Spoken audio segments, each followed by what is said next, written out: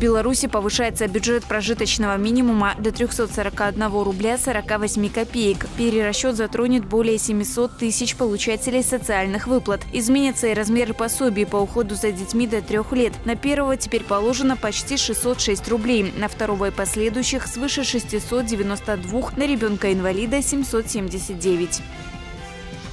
МВД заблокировала более 30 тысяч профилей аферистов на торговой интернет-площадке Беларуси. От действий международной преступной группы кибермошенников пострадало несколько тысяч человек. И речь идет не только о наших гражданах, но и жителей ближайших государств. Прежде всего, это Россия и страны СНГ.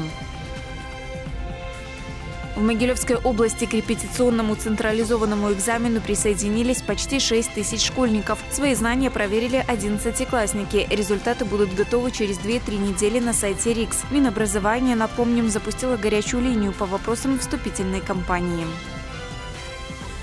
Загруженность здравниц Могилевской области в 2022 составила 85%. В санаториях, профилакториях, оздоровительных центрах реализовано свыше 45 тысяч путевок, что на 9% больше, чем годом ранее. Услугами активно пользуются граждане Беларуси, России, Балтии, Украины, Азербайджана, Израиля, Германии и других государств. В Могилевском регионе подвели итоги профсоюзного патриотического марафона «Дорогами родной земли». Проект был запущен в прошлом году и приурочен к Году исторической памяти. Экскурсии в местах боевой славы и культурного наследия проходили во всех уголках Синеокой. Это нашло живой отклик более чем у двух тысяч человек.